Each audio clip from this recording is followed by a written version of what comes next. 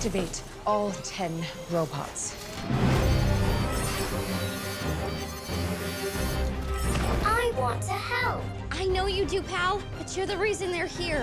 Give me PAL. Now. Can the scientific method help us? We just need to come up with a hypothesis. Is that what you do for fun? Of course. I've never been camping before. It's gonna be so educational. I feel like I could take on anything. Except for that. Why do people bully? Bullies usually pick on people they think are weaker than them. The only logical thing to do is give up. I am not weak. And I'll prove it. That was amazing!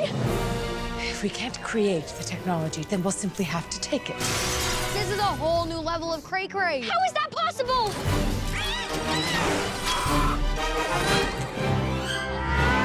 We're gonna be friends forever.